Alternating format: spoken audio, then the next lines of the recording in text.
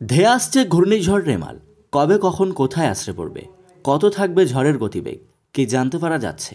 প্রিয় দর্শক, মে মাস এমনিতেই ঘূর্ণিঝড় প্রবণ মাস। অধিকাংশ বছর মে মাসের শেষের দিকে বিভিন্ন সময় বাংলাসহ বঙ্গোপসাগর তীরবর্তী বিভিন্ন এলাকায় ঘূর্ণিঝড় আশ্রে পড়তে দেখা গিয়েছে।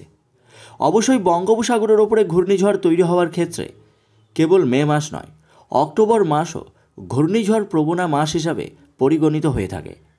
মূলত সমুদ্রপৃষ্ঠের তাপমাত্রা বৃদ্ধি হওয়ার পরে ঘূর্ণাবর্ত, তা থেকে নিম্নচাপ এবং সেই নিম্নচাপ ধীরে ধীরে শক্তি সঞ্চয় করে ঘূর্ণিঝড়ে পরিণত হয়। সম্প্রতি বঙ্গোপসাগর ঘেঁষা এলাকায় বাংলাদেশ, উড়িষ্যা, পশ্চিমবঙ্গ সহ বিভিন্ন জায়গায় গত কয়েকদিন ধরে তীব্র তাপপ্রবাহ চলার পর এখন ঘূর্ণিঝড়ের ভ্রকুটি দেখা গিয়েছে। বঙ্গোপসাগরের বুকে তৈরি হওয়া এই ঘূর্ণিঝড় মে মাসের শেষের দিকেই ভূখণ্ডে আশ্রয় পড়বে। এমনটাই কিন্তু অনুমান। যদিও এই ঘূর্ণিঝড় প্রসঙ্গে এখনও কিছু সেইভাবে জানতে পারা যায়নি। মূলত আমেরিকা এবং ইউরোপিয়ান আবহাওয়া দপ্তর দক্ষিণ বঙ্গোপসাগরে একটি ঘূর্ণিঝড় তৈরি হওয়ার সম্ভাবনার কথা জানিয়েছেন। বঙ্গোপসাগরে নতুন এই ঘূর্ণিঝড় তৈরি হলে তার নাম হবে রেমাল।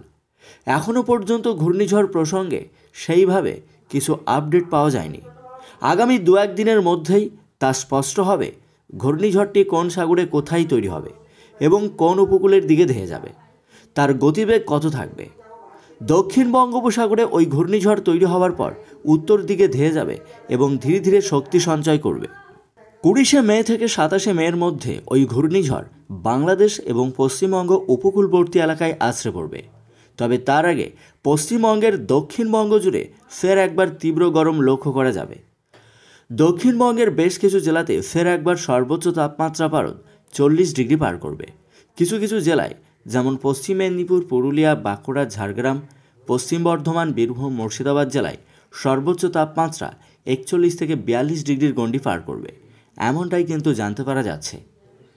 ঘূর্ণিঝড় রেমাল সম্পর্কে এখনই কোনো আপডেট দেওয়া সম্ভব নয়। এই ঘূর্ণিঝড় কেন্দ্রের গতিবেগ ঘন্টায় একশো আশি থেকে একশো নব্বই কিলোমিটার পর্যন্ত হতে পারে।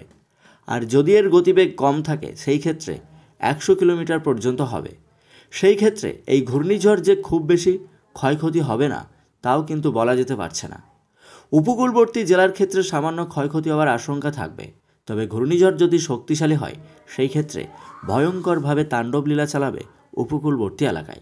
তবে এই ঘূর্ণিঝড় ঠিক কোথায় আশ্রে পড়বে অথবা এর গতিবেগ কত হবে তার সম্পর্কে অবশ্যই এখনও কিছু চূড়ান্তভাবে আপডেট দেওয়া সম্ভব নয়।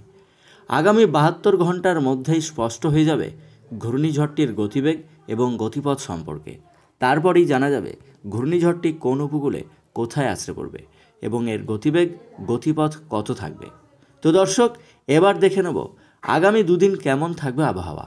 আগামী দুদিন কোন কোন জেলাতে কালবৈশাখীর ঝড়, বজ্রবিদ্যুৎ সহ বৃষ্টি এবং শিলাবৃষ্টি চলবে? কোথায় কোথায় দুর্যোগপূর্ণ আবহাওয়া থাকবে? জলীয় বাষ্প ঢোকার কারণে কোন কোন জেলাতে ঝড় বৃষ্টি চলবে? দেখে নেব এক নজরে। দর্শক, এই মুহূর্তে বিশাখাপত্তনমের কাছে একটি ঘূর্ণাবর্ত অবস্থান করছে, যার কারণে ভারতবর্ষের একাধিক জায়গাতে আগামী কয়েক ঘণ্টার মধ্যেই পরিবর্তন হবে আবহাওয়ার। সাগর থেকে প্রচুর পরিমাণে জলীয়বাষ্প স্থলভাগে প্রবেশ করছে, যার কারণে ঝড় বৃষ্টি শুরু হবে বিভিন্ন জায়গাতে। মাদুরিয়া, বেঙ্গালুরু, হায়দ্রাবাদ, বিশাখাপত্তনম, ভুবনেশ্বর, নাগপুর, ধানবাদ, পশ্চিমবঙ্গ, ঢাকা সব জায়গাতেই বজ্রবিদ্যুৎ সহ বৃষ্টিপাত চলবে। ফের পরিবর্তন হবে আবহাওয়ার। কালবৈশাখীর ঝড়, বজ্রপাত এবং শিলাবৃষ্টি চলবে বেশ কিছু জায়গাতে। ভারতবর্ষের বিভিন্ন জায়গাতে আবহাওয়ার পরিবর্তন দেখা যাবে। পরিবর্তন হবে পশ্চিমবঙ্গ। আজ বিকাল বা সন্ধ্যার দিকে বেশ কিছু জায়গাতে ঝড় বৃষ্টি হওয়ার সম্ভাবনা আছে। কলকাতা, হাওড়া, হুগলি, উত্তর চব্বিশ পরগনা, দক্ষিণ চব্বিশ পরগনা, পূর্ব মেদিনীপুর, পশ্চিম মেদিনীপুর, এই সমস্ত জেলাগুলিতে ঝড় বৃষ্টি হতে পারে। প্রিয় দর্শক, আজ এই রকমই আবহাওয়া থাকবে। কাল থেকে আবহাওয়ার ফের পরিবর্তন একটা দেখা যাবে। কারণ কি? যে ঘূর্ণাবর্ত অবস্থান করছে, সেটি একদম বাংলাদেশ থেকে ধানবাদ হয়ে রাউরকেলার ওপর দিয়ে ভুবনেশ্বর হয়ে অন্ধ্রপ্রদেশ পর্যন্ত বিস্তৃত থাকবে। আর এই অক্ষরেখার টানেই বজ্রবিদ্যুৎ সহ বৃষ্টিপাত নামবে কলকাতা সহ দক্ষিণের একাধিক জায়গাতে। পরিবর্তন হয়ে যাবে আবহাওয়ার। ঝড় বৃষ্টি শুরু হবে, প্রিয় দর্শক। আগামীকাল থেকেই একটু একটু করে ফের পরিবর্তন দেখা যাবে আবহাওয়াতে। বৃষ্টিপাতও দেখা যাবে। শনিবার বেশ কিছু জায়গাতে বজ্রবিদ্যুৎ সহ বৃষ্টিপাত চলবে। দর্শক, শনিবার সকাল থেকে মেঘলাখাস দেখা যাবে কলকাতা সহ দক্ষিণের একাধিক জায়গায়। মেঘলাখাস দেখা যাবে বাংলাদেশও। প্রিয় দর্শক, খড়গপুর, মেদিনীপুর, কলকাতা, হাওড়া, হুগলি, উত্তর চব্বিশ পরগনা, দক্ষিণ চব্বিশ পরগনা, পূর্ব মেদিনীপুর, পশ্চিম মেদিনীপুর, সব জায়গাতেই বজ্রবিদ্যুৎ সব বৃষ্টিপাত লক্ষ্য করা যাবে। সকাল থেকে মেঘে ঢাকা থাকবে আকাশ। শনিবার থেকেই টোটালি পরিবর্তন হয়ে যাবে গোটা বঙ্গের আবহাওয়া। রবিবার বজ্রবিদ্যুৎ সহ বৃষ্টি শুরু হবে একাধিক জায়গাতে। বজ্রবিদ্যুৎ সহ বৃষ্টিপাত হবে কলকাতা সহ দক্ষিণের একাধিক জায়গায়।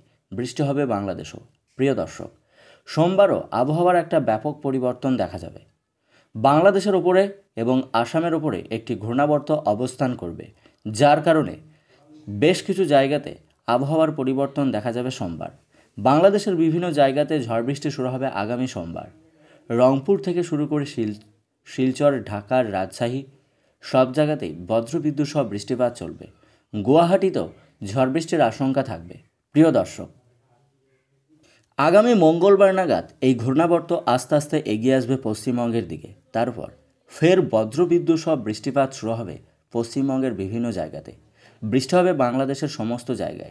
ঢাকা, খুলনা, রাজশাহী, মেহেরপুর, বরিশাল, ময়মনসিংহ, সিলেট, রংপুর সব জায়গাতেই বৃষ্টিপাত লক্ষ্য করা যাবে। বজ্রবিদ্যুৎ সহ ভারী থেকে অতি ভারী বৃষ্টি চলবে কলকাতার বিভিন্ন জায়গাতে।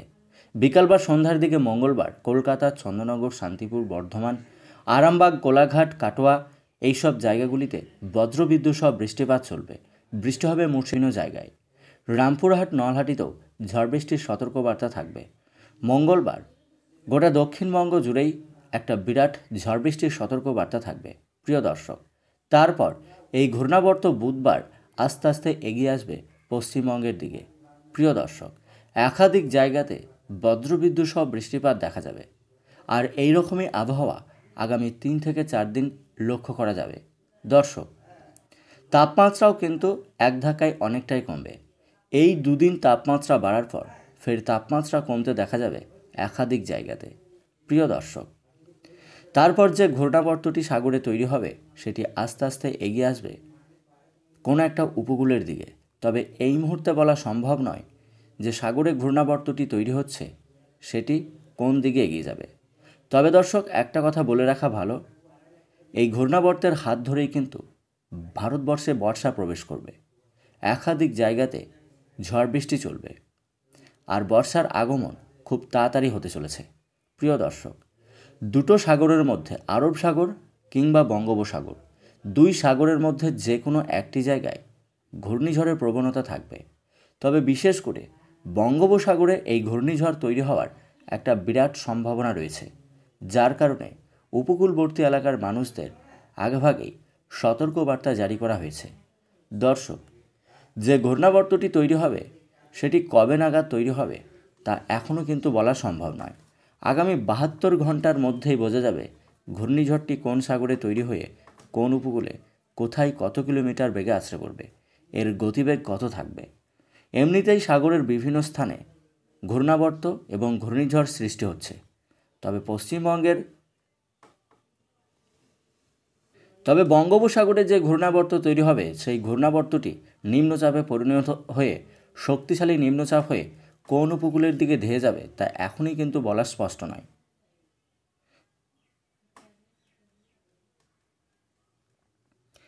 তবে আগামী কয়েকদিন তাপমাত্রা কোথাও উনচল্লিশ কোথাও চল্লিশ, কোথাও পঁয়ত্রিশ থেকে ছত্রিশ বিভিন্ন জায়গায় বিভিন্ন রকম তাপমাত্রা দেখা যাবে। তবে ঝড় বৃষ্টি বাড়লে তাপমাত্রার পরিমাণ কিন্তু অনেকটাই কমে যাবে। কলকাতা এবং তার পার্শ্ববর্তী অঞ্চলে তাপমাত্রা পঁয়ত্রিশ থেকে ছত্রিশ ডিগ্রি সেলসিয়াসের আশেপাশে থাকবে। খড়গপুর, মেদিনীপুর সাইডে উনচল্লিশ ডিগ্রি সেলসিয়াস। ঝাড়গ্রাম, বাঁকুড়া, পুরুলিয়া সাইডে কোথাও চল্লিশ, কোথাও বিয়াল্লিশ ডিগ্রি সেলসিয়াস থাকবে। পুরুলিয়াতে তাপপ্রবাহ চলার আশঙ্কা আছে। ঝড় বৃষ্টি হলেও তাপমাত্রা কিন্তু এই সব জেলাগুলিতে বাড়বে। বর্ধমানে তাপমাত্রা পঁয়ত্রিশ থেকে ছত্রিশ ডিগ্রি সেলসিয়াসের মধ্যে থাকবে। মুর্শিদাবাদেও আটত্রিশ থেকে উনচল্লিশ ডিগ্রি সেলসিয়াস। শিউড়ি, বীরভূমে আটত্রিশ থেকে উনচল্লিশ ডিগ্রি সেলসিয়াস থাকবে। বাদবাকি জায়গাতে শুষ্ক আবহাওয়া থাকবে। তো দর্শক, ভিডিওটি ভালো লাগলে একটি লাইক করবেন এবং ভিডিওটিকে শেয়ার করবেন। আর এই ধরনের লেটেস্ট ট্রেন্ডিং আপডেট সবার প্রথম পাওয়ার জন্য চ্যানেলটিকে সাবস্ক্রাইব করে পাশে বেল আইকনটি প্রেস করে অল নোটিফিকেশনটিকে ক্লিক করে আমাদের সঙ্গে থাকবেন।